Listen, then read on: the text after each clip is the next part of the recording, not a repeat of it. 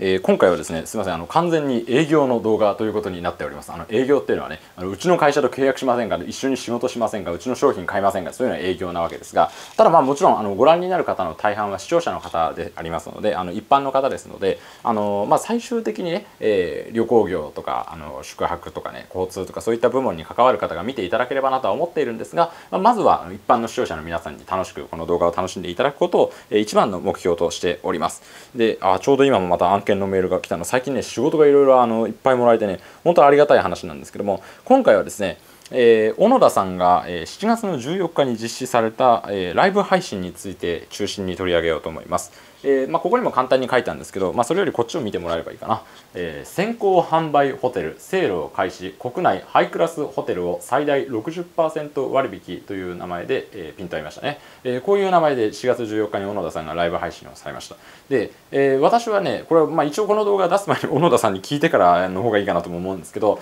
あのー、これはねまあ、この評価を見てもらっても分かるんですが低評価の方がま100件ぐらい多いという状態になっています。で小野田さんの出す動画で低評価の方が上回るってことは、まあ、まずないんですよ普段要するにこの動画の出来が、まあ、普段の視聴者が見ているものと比べてよほど悪かったということが、まあ、ここではっきり言って数字で出てしまってるわけですで私もねこのライブ配信はすごく気になってましたんでえー、最初の方から見てたんですけどただ、ね、やっぱりちょっとこれはまずいんじゃないかなというふうに、えー、私も見てる時に思ってました。じゃあどんなライブ配信だったかっていうとね、えー、これはあの企業案件のライブ配信なんですけどあまりにもね宣伝色がねあの前面に出過ぎていた、え企業案件だったんです。まあ動画を見ていただければあのよくわかるんですがトリップドットコムというあの宿泊予約サイトからですね、え来た案件でしてまあ、例えばあのそうですね。私が、えー、よく使うもの別にこれ企業案件じゃないからあの他社の名前も出していいと思うんですけど、えー、ジャランネット楽天トラベルとかね、まあ、あとは一休とか、えー、なんですか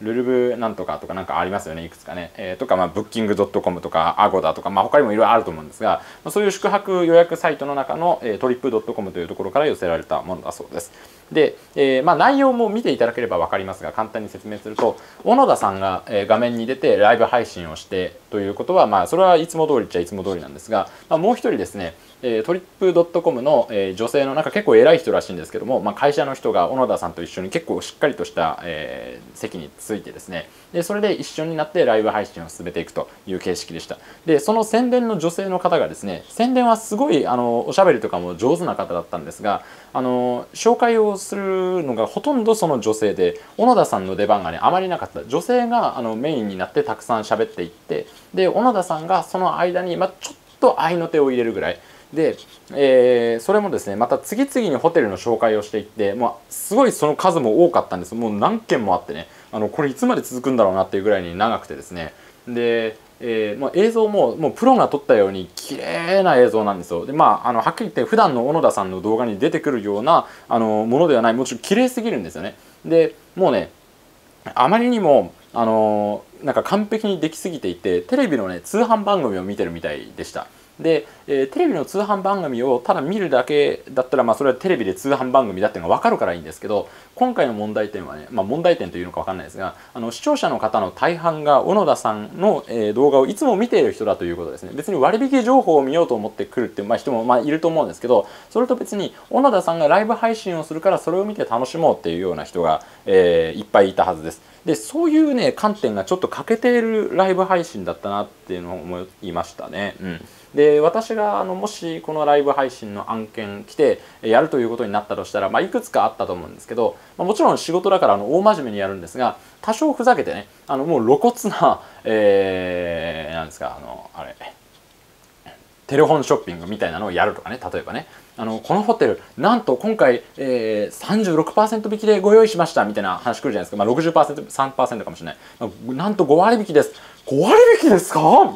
こういうことやったら視聴者もなんかスーツさんがあの一生懸命ふざけてテレフォンショッピングをやろうとしてる面白いって思ってくれるかなっていうふうなことを例えば私一つ考えるんですけどあのなんと5割引きです。すごいですよね皆さん。あ5割引きですか？すごいですね。これではねちょっとねあのー、本当に宣伝なんだなただのコマーシャルを延々と何時間も見てるんだなという感じになってしまう、まあ、私のね YouTube の動画に、あのー、コマーシャルがつくじゃないですか。でまあ基本コマーシャルの中には面白いやつもありますけど基本的にコマーシャルって邪魔なものじゃないですか。その邪魔なコマーシャルを延々と見せ続けるような感じになっちゃったんじゃないかなっていう気がする。であとはあのライブ配信のねいいところっていうのは視聴者との一体感だと思うんですよ私は。であの視聴者にあの私と一体になっている感覚を味わってもらうために私はライブ放送をやってるんですけどあのそれがね、えー、このライブ放送にちょっと欠けていたのかなと思います、えー、視聴者がコメントをいっぱい送ってるんだけどそれを小野田さんとかそれからその紹介をされてる女性の方が、えー、見るということがね多分多分ですけどちょっと最後の方とか見てないんで分かんないんですけど多分ねなかったと私が少なくとも序盤で見た限りありませんでした。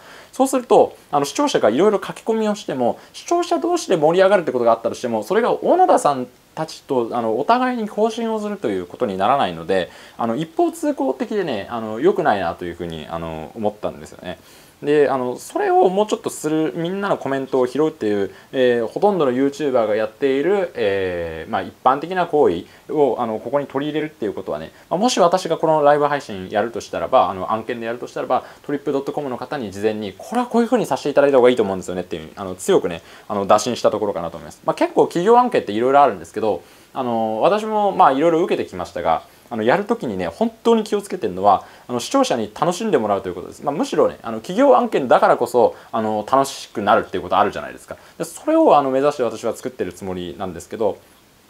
えー、そうですね。まあ例えばあのこの間第2回放に行く動画とかもね作りましたしそれからあの東海汽船に、まあ、ここにも書いてあるんですけどあの最終公開に載せていただくような動画とかもあの作ったんですがあの結構ね企業案件の時は私あのガツガツ攻め込んでいくんですよ。だってそうじゃないとやっぱり相手の会社にも悪いじゃないですか。面白いものを作ってで楽しい動画だった。これはすごいっていうふうにね視聴者に見せるスーツさんの企業案件は本当毎回面白いですねってなれば相手の会社もねあの評判バンと上がりますから。だからそういう時こそあのいい動画をと思うんで相手にね私結構口うるさくあの先方の会社にあの行ったりすることもあります。場合によってはね。まあ別にあの口うるさくてもそんなあのこれこれ何とかしてくださいよって怒ってるわけじゃないですけどね。あの普通にこういうふうなあのこれはねやった方がいいと思うんですよみたいなふうなことはね。あの結構たくさん言います。でこれが実現できないんだったらちょっとうちではあのこれは難しいですねみたいな話もあのすることもまあ実はねまあまあたくさんあったりします。でえーまあ、ということで小野田さんのライブ配信を私は酷評しまして、えー、視聴者もまたあの、まあ、いつもに比べると高評価は700ありましたが低評価がこれだけ目立つっていうのはかなり、えー、ない、まあ、映像としては私は失敗だったなと思ったんです。ところがですね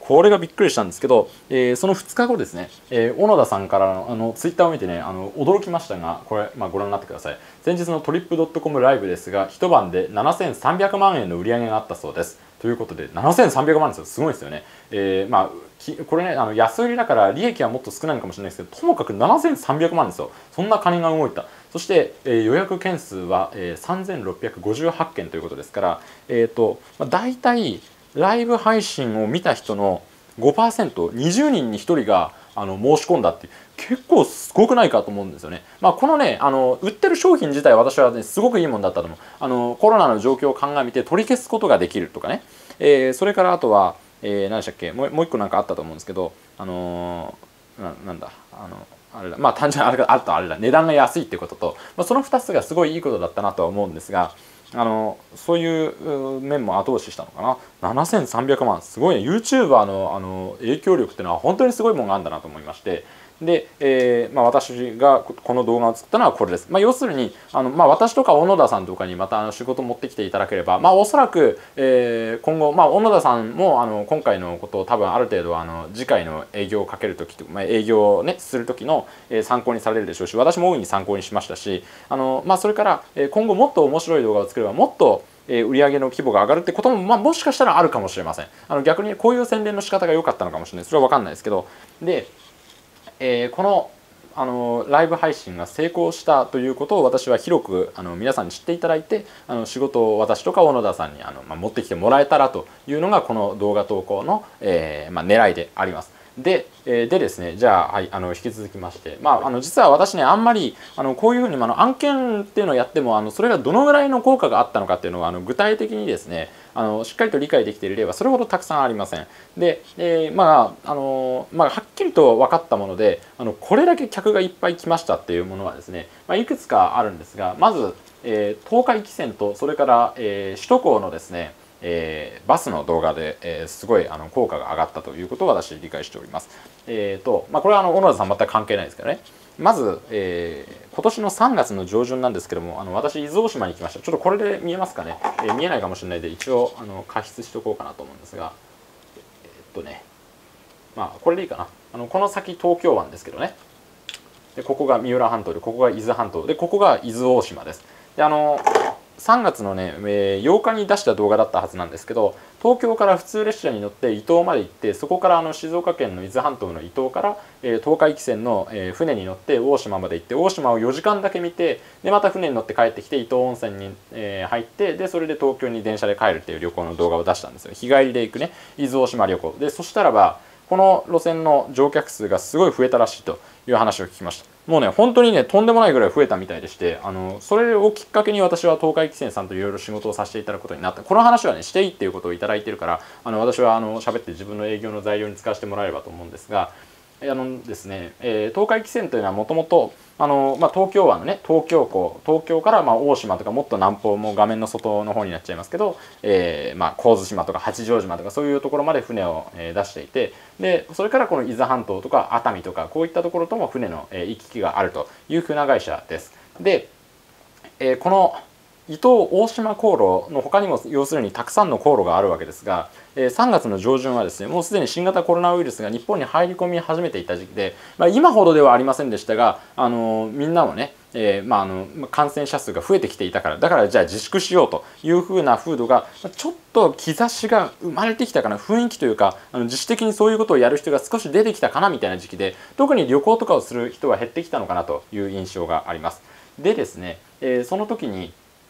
あの他のこの伊東とそれから大島の間を結ぶ航路以外は全部乗客がもうだら下がりしてすごい減ったらしいで、えまたこのやはり伊東と大島の間の航路も、えー、前年比対多分30%とかそのぐらいだったかなちょっと数値もしかしたら違ったかもしれないですが340%がそれぐらいに、えー、減っていたらしいんですよ。まあ、それがあの私が紹介してからですね、えー、2週間の間で、えー、30%だったのが前年比138%要するに100%増になったわけですよ。これはすごいことでねあのコロナウイルスのその期間中であってもそんだけあの、まあ、コロナウイルスの期間というとあれですがあのそういうのが話題になり始めたような時期であってもそんなにお客さんが増えたと、えいうことです。でまあ、私自身はねあのコロナが日本に入り込み始めていた時期にそこでお客さん増やすのはどうなんだって話はあの、まあ、もしかしたら受けるかもしれないですけど、まあ、私自身の考えとしてはあの今ほど危険な状態では当時はなかったのかなと思います。人数もすごくもうなんか、えー、5人とかね10人とかあのそういう人数が東京でたまに出る、まあ、23人とかそういう日もあるというような時期でしたので、まあ、私は別にあのその当時ここの乗客数があの多少増えたからといって特に問題はなかったと思います東海汽船さんからもねあの感謝の言葉などを頂いているわけです。ですけども。えー、ということがあってですねでそれで、まあ、さっきもちょっと言ったことですがあのそれ、まあ、でなんでその乗客が増えたのかっていうのが分かったかというとあのこの伊東港のね、えー、営業所の方がツイッターに、えー、書き込みをされていてで、えー、なんか謎の乗客増加を確認したからアンケートを取ったんだと思うんです。でそしたらばあの私が紹介したというのをねあのアンケートにいっぱい書かれた方があのいたらしいんです。でそれであのどうも私の原因らしいということになったんですがでそれからあの東海汽船さんとねいろいろあの仲良くなって、えー、船にあの乗るのを呼んでいただいたりとかですねあの試乗会に乗せていただいたりとか、まあ、そういうことをしてるんです。で、まあ、これがあの東海汽船の例の一つ。でそれからもう一個なんですけど、えーと首都高速道路のですねえー、バスの、えー、話なんですが、まあ、これはあの企業案件として、ね、私があの受けたものなんですけども、えー、とですねちょっとお待ちくださいね、えー、動画を皆さんに見ていただこうと思います。まあ多分もうご覧になった方が多いのかなと思うんですが首都高では出ないな。首都高バスバスでいいかな。首都高バスでやったら出ますね。まああのこの首都高激走バスっていうこのサムネイルの、ね、動画をご覧になった方多いと思うんですよ。楽しすぎるって方。本当に楽しかったですけどね。あの高評価がね22万再生に対して7000回の高評価ですからあの普通よりも高評価数がねかなり多くて相当面白いと思って皆さんに思ってもらえたのかなと思うんですけど。あ広告出てきちゃった。すいません。プロ野球スピリッツか。これ YouTube プレミアム入ってればこういうシーンなくなるんですけど、ね、すすみません。ちょちょっとお待ちください、ね、あよかった。まあこういう感じですね。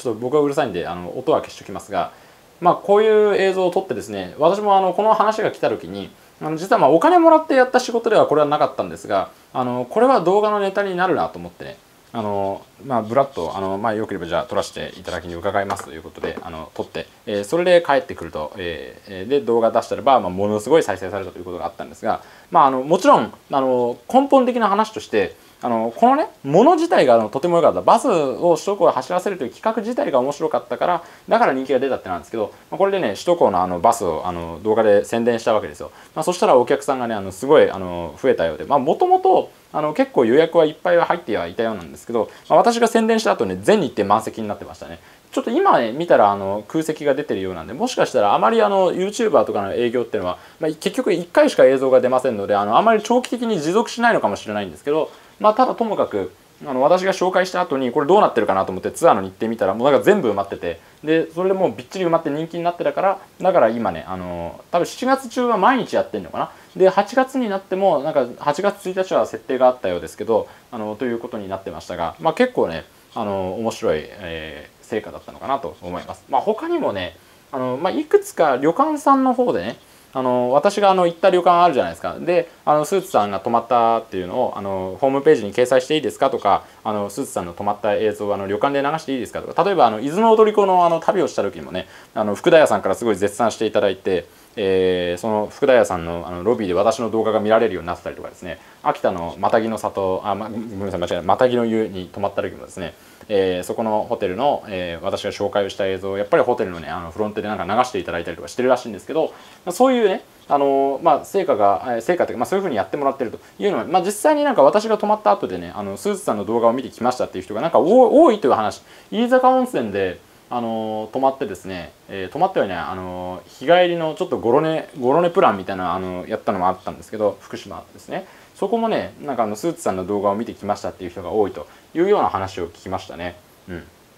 だから相当なんか営業みたいなの効果は出てるそう。で、まあ、だからですね別にあの私はもうこんな宣伝の効果があるんだから偉いだろうっていうわけではないんですけど、まあ、そういうのを知っていただいてですね。であの、まあ、もしよければあの私を使ってあの面白い映像が作れそうだというご提案がありましたらあのぜひねあのかけていただければと、まあ、結構そういうお声がけもいただいてるんですがあの別に今すぐっていう話ではありません。あの私も今すぐあのお客さんを呼ぶ行為を取るということが必ずしもあのそれは正解ではないなというふうに思ってるわけです。あのやっぱりだってあの、まあ、コロナが落ち着く、まあ、それ何をもって落ち着くかっていうのはあるんですけどコロナウイルスのこの騒動が落ち着いてからお客さんを呼びたいというようなところもねたくさんあるでしょう GoTo キャンペーンだってあのみんな不安感じながら利用しているというような状況ですしだからあの今すぐとかではないんですけどでも、まあ、あの宣伝の、えー、一つの、ね、手段としてあのご検討いただいてもあのとてもいいのかなというふうに考えております。えーまあ、こんな感じですかね。そうですね、うん、だからまああの小野田さんすごい案件引き受けたのこれ多分ねあの業界でも結構話題になってるんじゃないかと思いますよ。こんな7000万の売り上げってすごくないですか？あのということです。で、えーまあ、私自身としてはですねあの自分の個人の意思であの観光客をねあのまあなんかこう乱れに増やすと私の自由な行動によって増やすっていうのはちょっとどうなのかなという気もね、えある一方であのまあさまざまなあのもう旅行業それ関連する、え産業がもうあのくたびれ尽くして、まあ、もうあのボトボトとあの息絶えているというような状況でありましてで